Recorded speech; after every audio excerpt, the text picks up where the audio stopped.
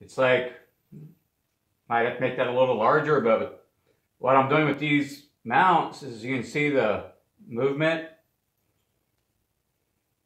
It's not much, but it can rock in here. And before there was no give, so it just said, without them being perfectly aligned, uh, it bound and wouldn't let it rotate. And um, it's going to take work because I'm going to have to make a plate back here that will be a sill.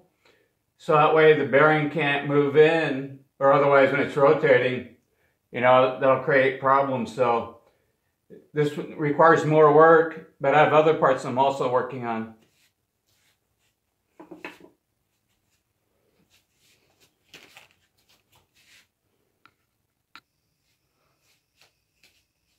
Well, with these parts, these here and here, they're going to be the catch and release mechanism.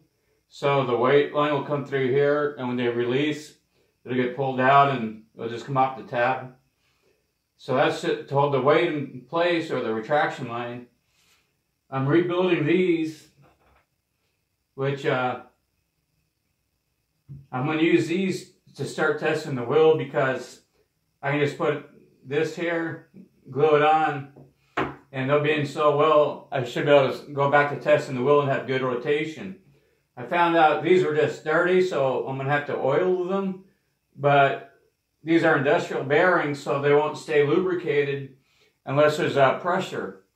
And then with the weight, with the wheels for the weight wheel assemblies, I'll be able to grease this as well to create a seal so that way it'll keep stay lubricated. And I'm only going to be doing one weight wheel for now and get those on. And once I do that, I can go and test it for, for rotation and have it get it rotating like it did before. And with those, when, when they're finished, I can put those on and they'll stay lubricated and it'll be able to start moving forward to, towards getting it working.